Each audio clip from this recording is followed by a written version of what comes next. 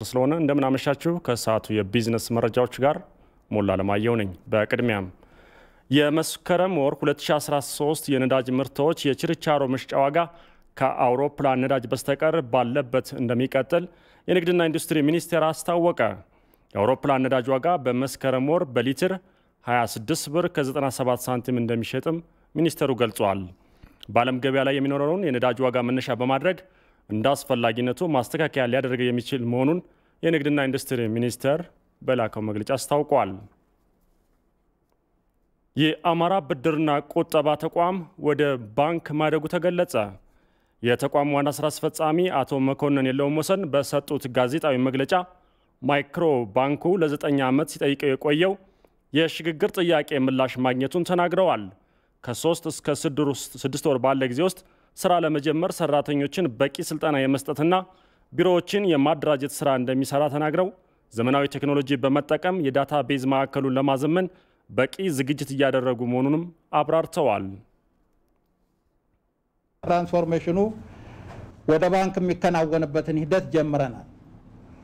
ስለዚህ አደረጃጀቶች ፈጥረን በአደረጃጀቱ መሰረት የሚያስፈልጉ requirement ኦች እንዲሟሉ በማድረግ ሰራተኞቻችንን በመመልመል በማሰልጠን ምደባ በማድረግ አሁን በባንክ ደረጃ የምንጀምርባቸውን office ኦች መለየት እነዚህ የተለዩ office ኦቻችንን ሁሉንም requirement ኦች እንዲያሟሉ ማድረግ እነዚህን ካሟሉ በኋላ ባንኩ መጥቶ አይቶ አረጋግጦ authorize አድርጎን ወደ ስራ እንድንገባ በፍጥነት እየሰራ ነው።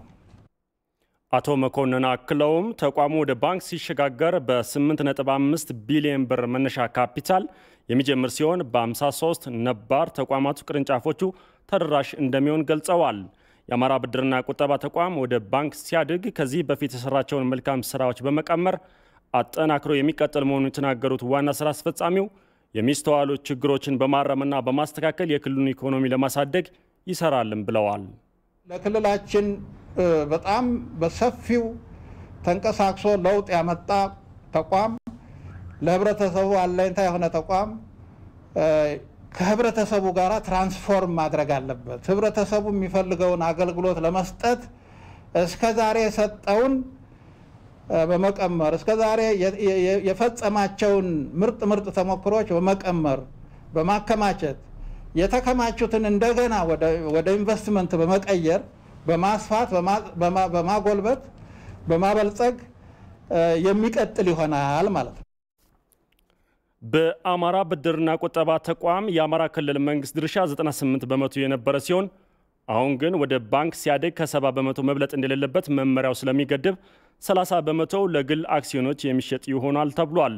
ዘገባው የአማራ ክልል መንግስት ኮሚኒኬሽን ጉዳዮች ቢሮ ነው። በአማራ ክልል ምዕራብ ጎጃም ዞን በ86 አርሶ አደሮች 270 ሄክታር ላይ የሚለማ የበለጸገ አቮካዶ ለአራተኛ ጊዜ ለውጭ ገበያ ቀርቧል። በአካባቢው ባለፈው ዓመት በአቮካዶ አምራች አርሶ አደሮች ማህበር 63 ኩንታል አቮካዶ በአውሮፕላን ጭነት ወይም ካርጎ ለእስራኤል ገበያ የቀረበ ሲሆን ዘንድሮ 765 ኩንታል አቮካዶ ከእስራኤል በተጨማሪ ለቻይና፣ ዱባይና ሳውዲ አረቢያ ገበያ በባቡር ትራንስፖርት የሚደረግ ነው ተብሏል። ምርቱን ዓለም አቀፍ ገበያን የሚመጥን ጥራትና ዝግጅት መላክ መቻሉ የሚላክባቸው ሀገራት ቁጥር እንደሚጨምር ማድረጉን ከአርሶ አደሮች በመረከብ እየላከ የሚገኘው የቆጋ ቪጂ የተባለ የግብረሰናይ ድርጅት አስታውቋል። በድርጅቱም ከ200 በላይ ሰራተኞች የስራ ዕድል የተፈጠረ ሲሆን አብዛኛዎቹ ሴቶች መሆናቸው ተገልጿል። ዘገባው የሪፖርተራችን ራሄል ፍሬው ነው። የኮሮና ቫይረስ ወረርሽኝ በቱሪዝም ዘርፉ ላይ ተጽዕኖ በማሳረፉ ተጎጂ መሆናቸውን በሐዋሳ ከተማ በሆቴል ዘርፍ የተሰማሩ አካላት ገለጹ። መንግስት ለዘርፉ የሚያደርገውን ድጋፍ አጠናክሮ እንዲቀጥልም ጠይቀዋል። እዮም ሞገስ ተጨማሪ ዘገባ አለው። ሐዋሳ በሐምሌና ነሐሴ ወራት በርካቶች ለመዝናናት የሚመርጧት ከተማ ናት። ታዲያ ይህ ሁኔታ በከተማዋ ለሚገኙ የተለያዩ ሆቴሎችና በተመሳሳይ አገልግሎት ለተሰማሩ ተቋማት መልካም አጋጣሚን የሚፈጥር ነው። ሆኖም ከወራት በፊት በኢትዮጵያ የተከሰተው የኮሮና ቫይረስ ወረርሽኝ በአገልግሎቱ ላይ ተጽዕኖ እያሳደረ ይገኛል። በሐዋሳ ከተማ የሚገኘው የኃይሌ ሪዞርት ዋና ስራ አስኪያጅ አቶ እምሻው ተሾመ የኮሮና ወረርሽኝ የሆቴል ዘርፉን ቢዝነስ እንደጎዳው ይናገራሉ። ካሉ የአመቱ 12 ወራት ውስጥ እንደ ሐምሌና እንደ ነሐሴ ሀዋሳ busy የምትሆንበት ጊዜ የለም። በ family ም ትምህርት ቤትም ዝግ ስለሚሆን በቢዝነስም በ leisure እንቅስቃሴም በ tour ም በጣም busy የሚሆንበት ጊዜ ነው። በዚህ ሰዓት ሀይሌ ሪዞርት ሀዋሳ ምናልባት ከወር ከሁለት ወር በፊት reservation ከሌለ room የማይገኝበት ነው። ሀዋሳ ላይ ያሉ ሆቴሎች በሙሉ እንደዛ ነው። አስር ዓመትና ከዛ በላይ የሚሆን የሆቴል experience አለኝ። በእኔ የ hospitality experience ውስጥ እንደዚህ አይነት severe እና ረጅም ጊዜ የወሰደ የቢዝነስ መውደቅ ወይም መጥፋት አጋጥሞ አያውቅም። የሳውዝ ስታር ሆቴል ስራ አስኪያጅ የሆኑት አቶ ቢኒያም አድጋው የኮቪድ-19 ወረርሽኝ የሆቴል ኢንዱስትሪውን ገበያ በማቀዛቀዝ ገቢን እያሳጣ እንደሆነ ይገልጻሉ። ከዚህ በፊት almost room ኦቻችን በዚህ ሰዓት ከ80 እስከ 90 percent የሚያዙበት ነው። በኮሮና ምክንያት ግን ይኸው እንደምታየው ጭር ያለ ነው። የዛሬ ዓመት የምናስገባው ገቢና ዛሬ ላይ የምናስገባው ገቢ በጣም big difference አለ።